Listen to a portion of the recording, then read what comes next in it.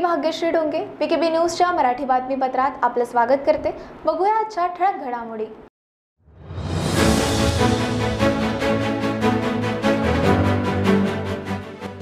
मुंबईत एका फोनवरून आलेल्या धमकीबाबत अजित पवार यांनी दिली प्रतिक्रिया केंद्र सरकारच्या यंत्रणांनी याद द्यावे लागते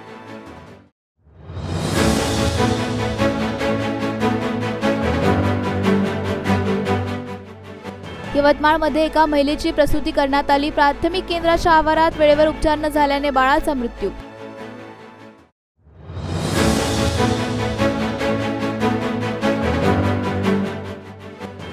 आणि नागपुरात एका आरोपीला कोर्टात हजर करताच अचानक त्याची प्रकृती ढासळली परंतु पोलिसांनी दुर्लक्ष केले असता न्यायाधीशांनी पोलिसांना आरोपीला त्वरित उपचार देण्याचे केले आदेश.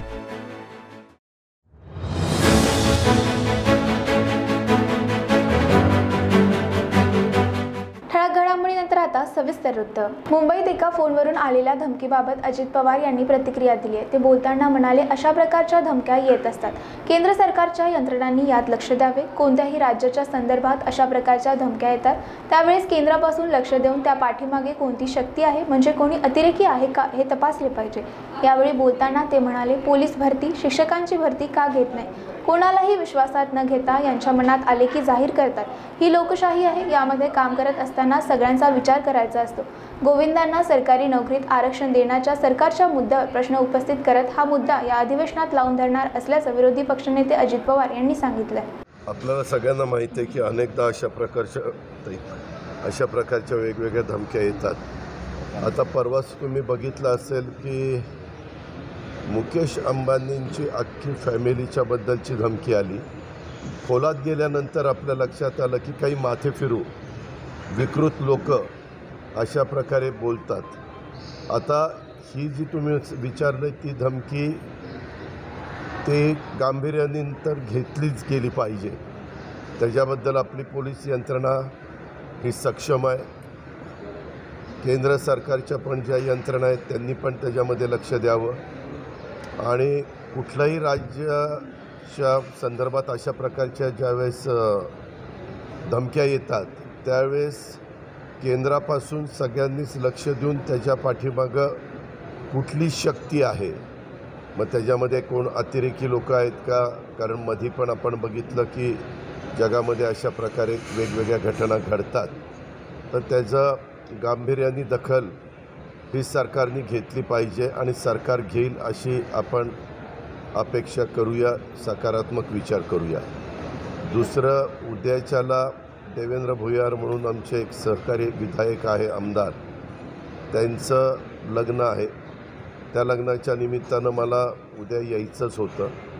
परंतु आपल्याला सगळ्यांना माहिती आजही काही पेपरला बातम्या आलेल्या आहेत की आपला अमरावती जिल्ह्यातला मेळघाट धारणी हा सगळा परिसर आदिवासी भाग म्हणून ओळखला जातो.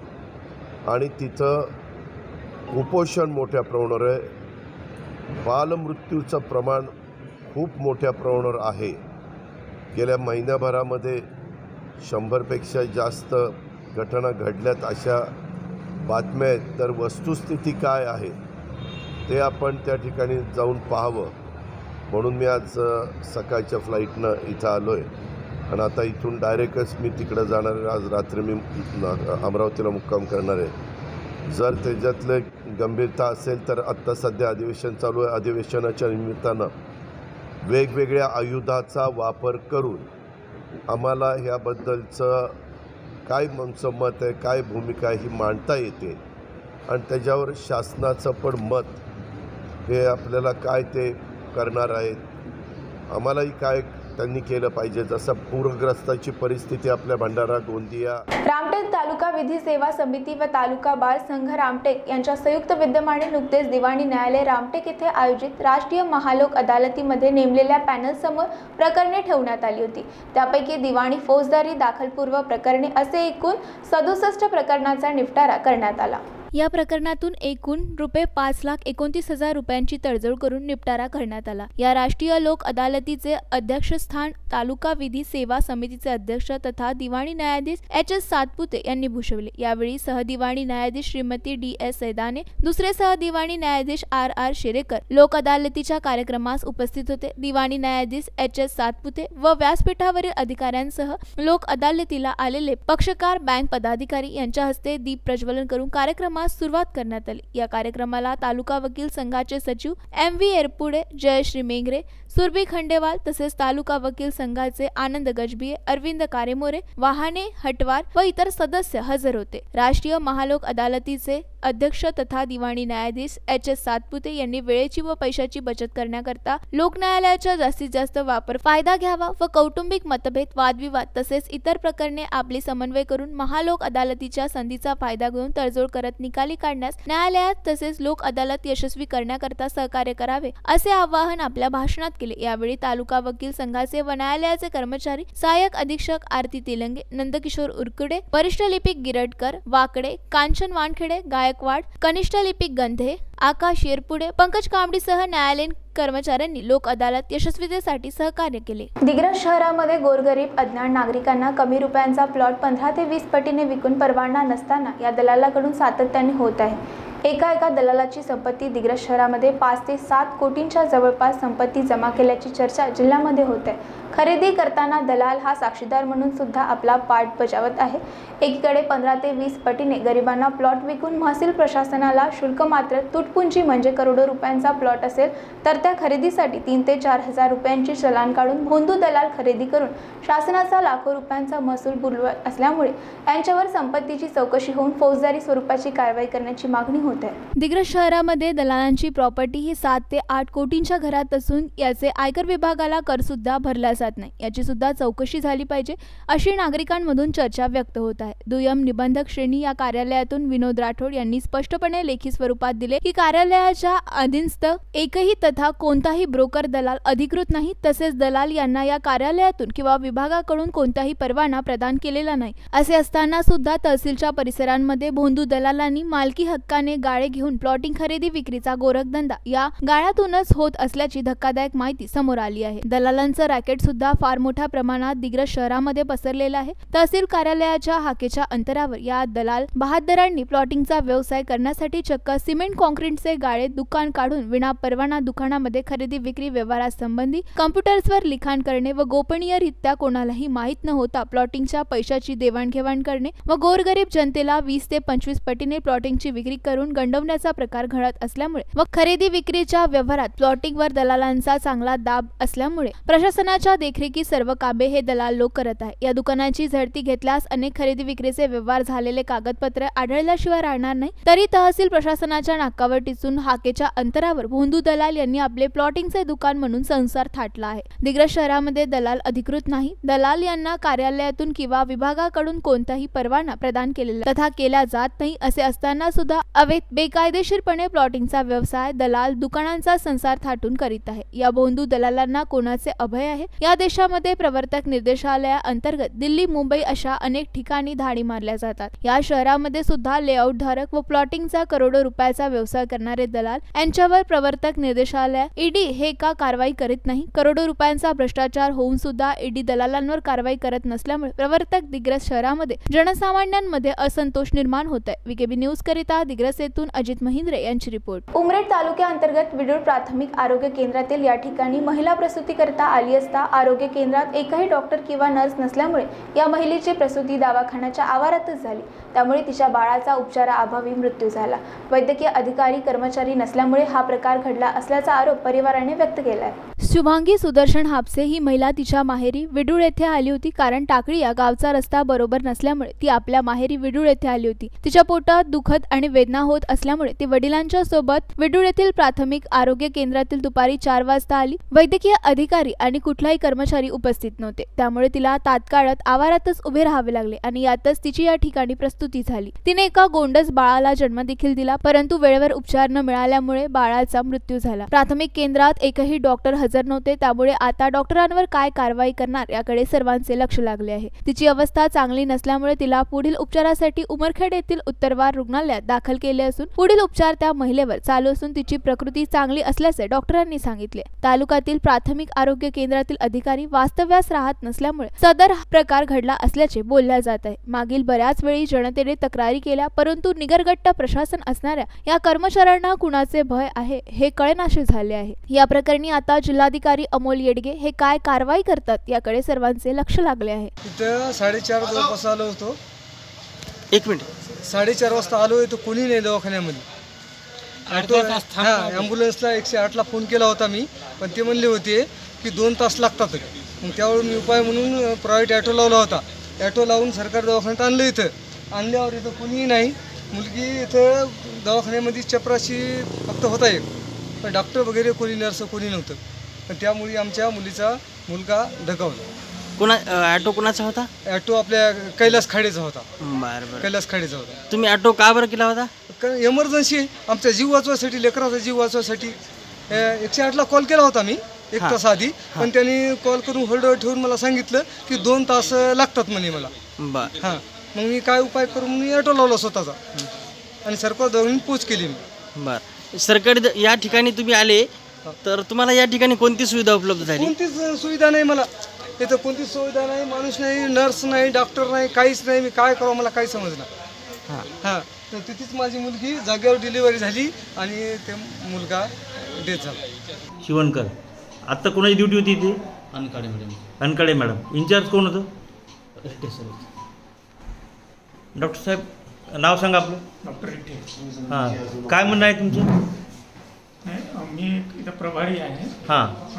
प्रभारी असलं तरी तुमची ड्युटीवर राहण्याची इथं जरुरी आहे. शिवणकर सरांची आणि अंकाने मॅडमची ड्युटी लावलेली आहे. हां. मग तुम्ही हजर का नव्हते डिलिव्हरीच्या वेळेस? या दोघांची मी माझी ऑर्डर मूळची तिथली आहे सर. ब्राह्मणगाव बरं. हां.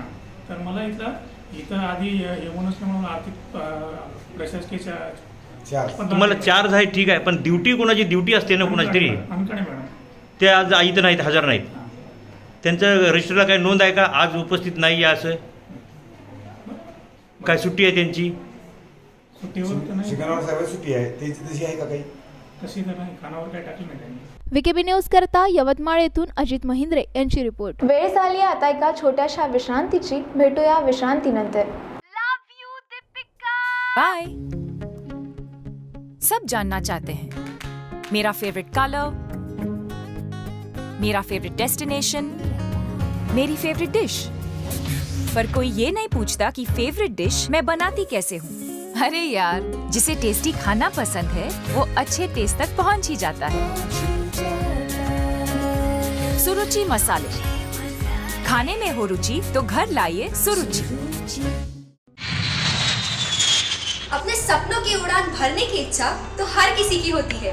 पर पंख भी तो मज़बूत होने चाहिए।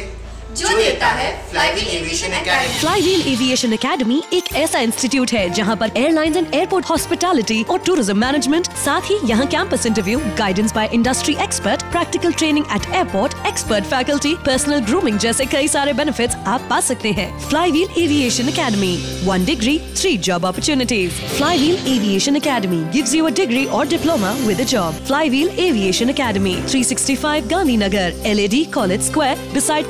Vijaya Bank Nagpur boss ने मीटिंग बुलाई। बाहर बाहर उठो बैठो। तकलीफ़ उठने बैठने की नहीं तकलीफ़ बवासीर की है। बवासीर फिशर भगंदर पाइलोनियल साइंस का आयुर्वेद तथा आधुनिक लेजर से उपचार कॉल और विज़िट करें W W W dot piles fistula cure dot com